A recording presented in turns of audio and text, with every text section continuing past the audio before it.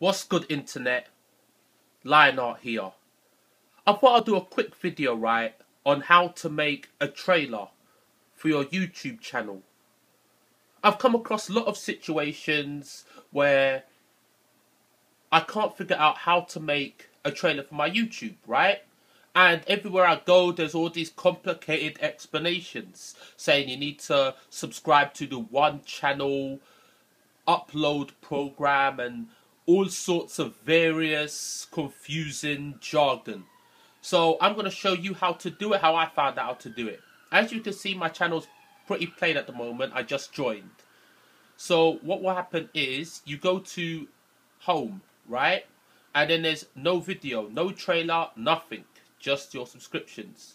So what you do is you go to next to your picture, where's your name of your YouTube? And then you go to YouTube settings. And then from YouTube settings, you will see account settings, overview, connected accounts. This is where you want to go. Connected accounts. Then from connected accounts, you'll see everything that you've been connected to. And if you scroll to the bottom, well, near enough, you'll see it says to manage which of your public activities gets published to your channel's feed, visit the feed settings on your channel. This one highlighted in blue. Click on it. Then it takes you to this channel navigation, browse. The browse tab lets you customize the display of your content. If enabled, this will be your default tab for all visitors.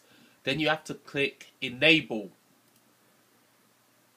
Now we've enabled, we're going to save.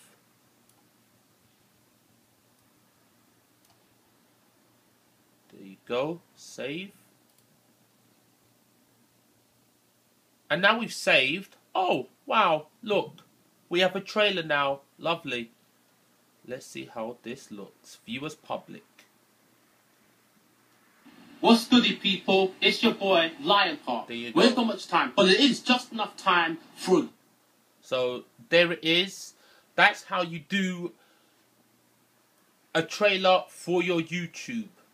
Because like me, I was forced to do this Google Plus and your YouTube, which is excruciatingly annoying, which has made things overcomplicated that they don't need to be. So here's me helping you out. If you have that same problem I did with the Google Plus and the YouTube, two separate channels, confusing jargon, this is made easier.